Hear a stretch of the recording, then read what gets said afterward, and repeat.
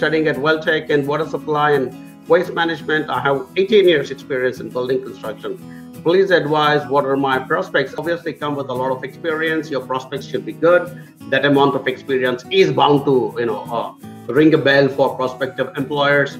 Uh, I do not think that you're one of our AJV students, uh, uh, because I don't. I I try and I mostly remember the names of most of my students. I, I'm, I'm, i could be wrong, so please forgive me if you are actually one of our AJV students. But uh, if, uh, if you are an AJV student, all you've got to do is pick up the phone and give a call to your onshore customer service manager, whose job is to talk to you guys and girls and ensure that you know you get the template of a CV, template of a cover letter, and you know also networking with other uh, of our students and past clients, you know, who are in a similar field and that's how we've been growing our you know support system to our students and clients here in New Zealand. So for you with your experience, I think what you've got to do is you've got, and you're also in a good institution.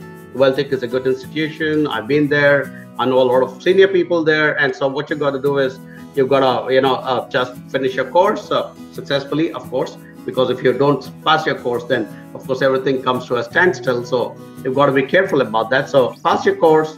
Yeah, get into the uh, market out there with your 18 years of experience, especially building and construction, I do believe that there will be good opportunities. Get get your get a job offer, and then give us a call and speak to our, uh, you know, that one. If you're already in New Zealand and you're looking for advice, then what you got to do is uh, just send an email to that one when you get a job offer, and our uh, licensed advisor, either myself or Mary or Gisela.